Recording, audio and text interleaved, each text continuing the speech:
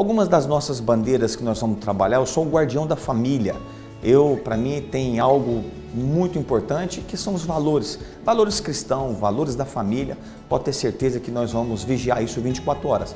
E também eu venho de uma base de criação de emprego. Eu falo de empreendedorismo, então tudo aquilo que envolve para dar mais dignidade a esse estado de Goiás e a este Brasil que eu chamo de trabalho, pode contar comigo que eu estarei 24 horas presente neste assunto.